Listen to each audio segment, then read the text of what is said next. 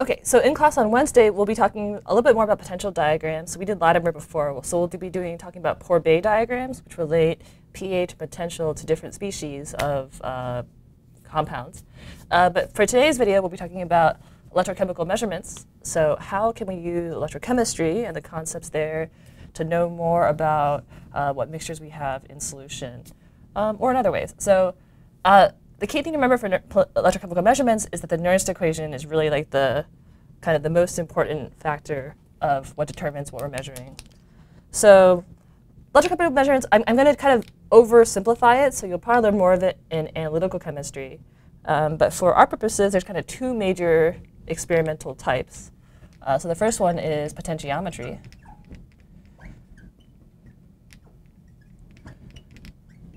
And then, so this is when you measure a potential at zero current.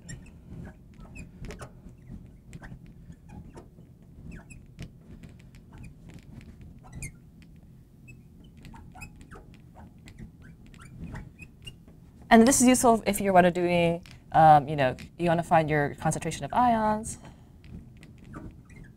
So there's a lot of selective electrodes that, for example, like a silver selective electrode, you can measure silver concentration in solution. Uh, like so silver solution. We can also measure protons. So the pH meter is based on potentiometry. And then we can also find potentials at which um, we can, you know, our reduction potentials of different species by doing what's called a redox titration. So it's a very useful technique. And the way it works is um, you have, here's my cell, here's my beaker. And then in that beaker, I have my solution of what I want to know. And so the way we measure it is I have two, two electrodes. So. And then so one of them will be my reference, which I will put like kind of like a little, here's my reference, little frit. And then here is a voltmeter, and that's what measures the potential and then here's my other electrode. So two electrodes. So one of them is, this is the reference. And this is what's called my indicator electrode. And then, so our cell basically is, we on the left side here, we have a reference. So here's my reference electrode. And then we have the salt bridge. So this salt bridge is this frit that I drew.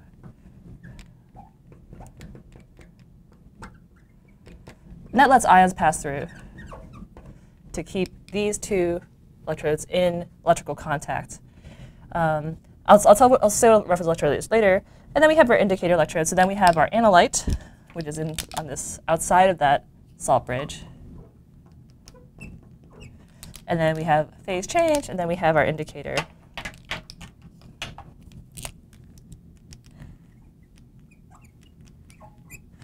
So the cell potential, what we measure, E cell, is therefore going to be the potential of our indicator minus the potential of our reference.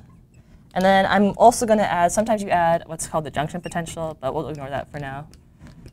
Um, that's extra potential drop across you know, the distance of your solution. So uh, the way this works, so this reference electrode is going to be, so reference electrodes, these are uh, what we just measure against. So it's a, usually a standard kind of concentration and also standard composition. So uh, common ones would be, for example, we could have silver chloride, silver. And then so what we have is this reference electrode would be a silver wire in a solution of potassium chloride at a certain concentration, one mole. I think it's standardized. And as a result, then we have this kind of redox couple, and that will be at a set potential. So then, as a result, when we measure the difference between what we measure at the indicator electrode, then we have a known uh, potential that we can you know, correspond to. Remember, again, every cell has to be between two half reactions. So if we, we have to standardize that one of the half reactions in order to get an actual meaningful result. Um, another common one is so-called the SCE. So this is the standard calomel electrode. And what it is, there'll be a metal wire in there, and what we're looking at here is mercurous chloride and mercury 0, and that's the redox couple there. And so again, you have you know, mercury, and then you have like your chloride solution, and then this will be a really common reference electrode that you have on one side. And so as an example, if our, our analyte, for example, we want to know what our cerium concentration is in this solution, we could use, again, the Nernst equation, and we have our standard, for example, cerium uh, E naught, then we could use what we measure, this indicator potential, to then calculate uh, our concentration, right? So again, we could, we measure E cell, we know E ref, so we can subtract that, so we get out our indicator potential, and then we can use our Nernst equation. So E indicator equals our standard one. So the example I used was maybe like cerium 4 plus getting reduced to cerium 3 plus, and then minus RT over NF log reduced over oxidized if we're doing a half reaction. So as a result, we know this, we, we've measured this. From there, we can calculate our final concentration. So that's one way you could use that uh, to potentiometry. We can know more about our sample by measuring potential. OK, so the other type, which I will get to as I erase, is voltammetry.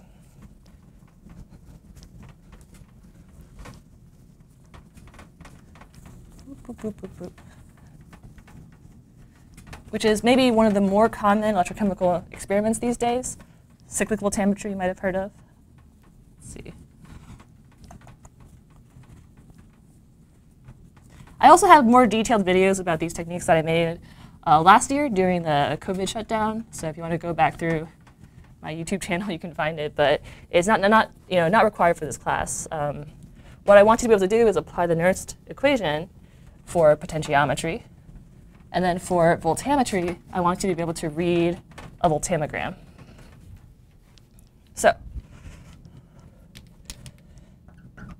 voltammetry.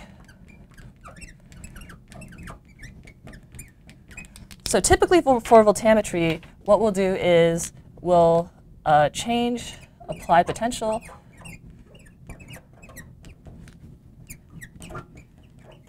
and then we'll measure a current.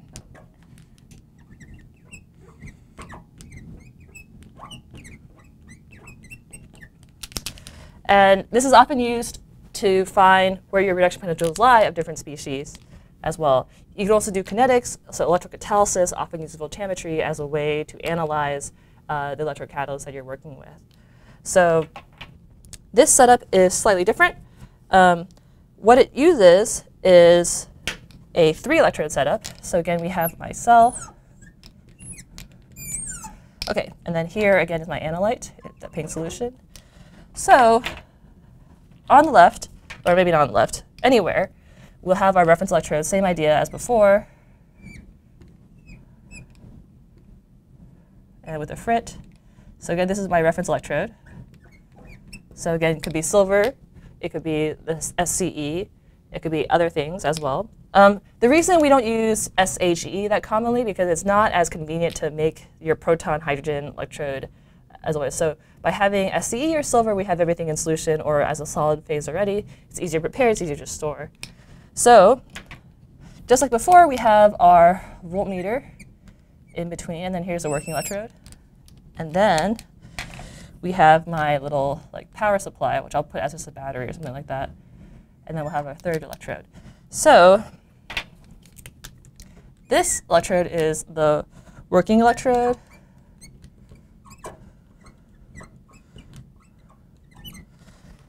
And this one is the counter. So the reference electrode tells you where you are um, in potential, again, because we have a standardized reference. And then the working electrode and the counter electrode are, they apply that potential that will then drive your electrochemical reaction. So between the two is where you're doing the redox chemistry of your species, of the analyte. Um, and then in this solution, this will be your analyte. I will say uh, a good concentration maybe, you know, 0.1 millimolar. You usually want it in some sort of uh, electrolyte. 0.1 molar. So this could be a salt, uh, you know, in organic solvent, you use tetrabutylammonium salts quite often. In water, you can use sodium chloride. You can use anything really. You want to be able to conduct your electricity through the solution in order to do your redox chemistry. Um, and then again, just like with any electrochemistry, temperature dependent, solvent dependent, et cetera, et cetera. So with voltammetry, um, what we'll do is, again, we'll sweep our potential, and then we'll measure current. So sweep potential with the power supply, measure current at the voltmeter. Uh, so for cyclic voltammetry,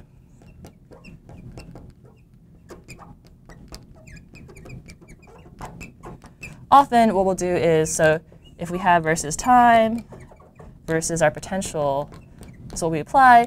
By cyclic, we mean that we go back and forth. So we can go here, then we'll turn around and do at least a triangle. We might do two triangles. So that's our cyclic voltammetry. We're going back and forth. The potential that we apply depends on uh, what area you want to look at. So that depends on your analyte. OK. And then, finally, what we'll get out is we measure a current, measure current, and then here's our final data point. So what we'll do is then we'll plot our potential in volts versus current in amps or microamps, whatever. Um, okay, so one thing about convention, I'll show you. The, I'm showing the IUPAC convention, and then so we'll have plus here minus here, and then up here will be anodic, down here will be cathodic. Uh, so it's important to check your axes when you read a paper with voltammogram in it because sometimes people do it backwards where they put negative on the right side and positive on the left side, and then therefore cathodic and anodic are flipped. That's the American or Texas convention, so be aware of it. It's, it's the reverse. But this is the more, I guess, I would say more papers these days use this convention, which of course makes more sense. So what happens in terms of what's going on? So in your cell, at the working electrode, which could be, let's say, maybe, you know, this could be platinum, it could be carbon, it could be gold. It could be anything really. Often it's just like a, a disk. And then your cathode electrode is just usually a platinum wire. So at your working electrode, here's my electrode.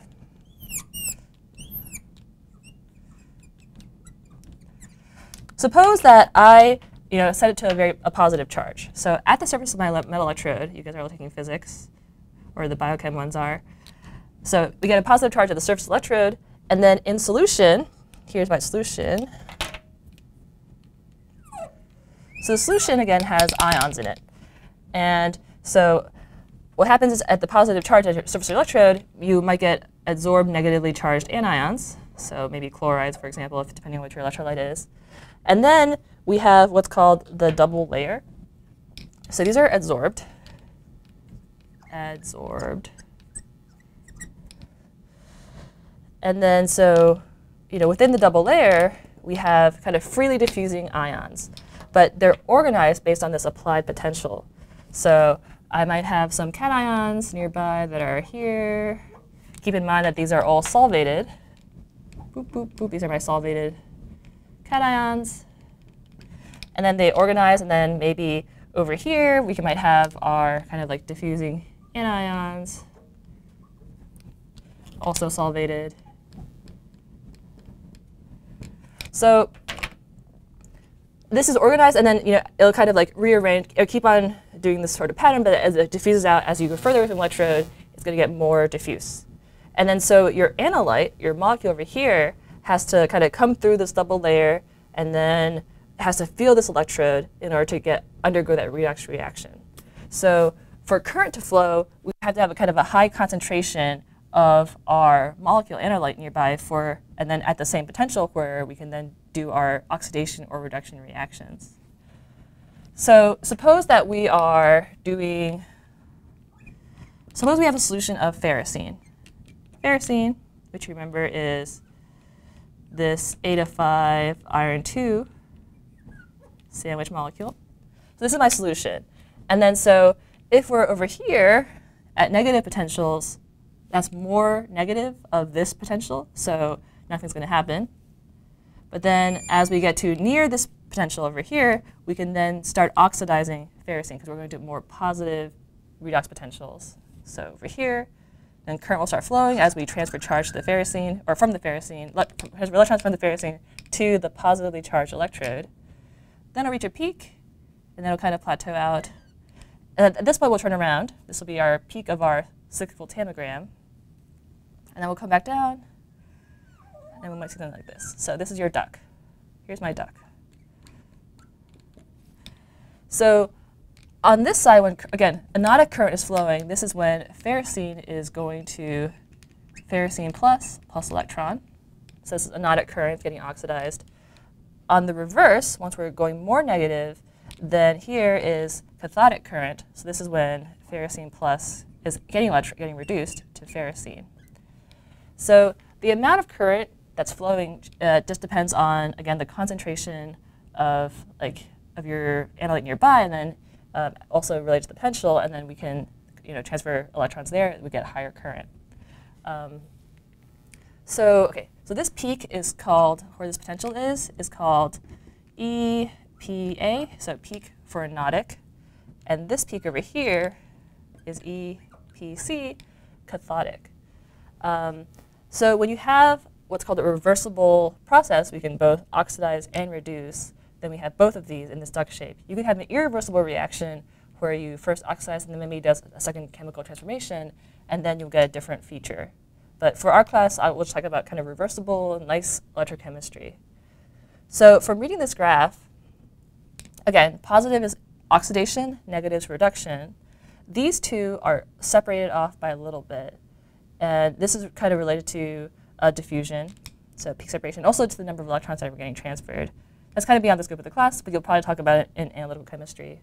But suffice it to say, what we want to know is if we have our cathodic current, and then we have our anodic current, we can average the two to get what's called E1 half. So it's the average. And so our E1 half would be somewhere maybe over here. And then so this will be approximately related to what's called the formal potential. And so the formal potential is instead of doing our standard reduction potential under standard conditions of one molar, this is going to be equal to the formal potential. This is E when you're reduced over the oxidized equals 1. So uh, it's pretty close to uh, our typical standard reduction potential, but it's a little bit maybe easier to work with. So for you, the takeaway is you should be able to read what's happening here, know, know what we're looking at on either side of the duck, and then also be able to then you know relate this to standard reduction potentials um, in a qualitative way.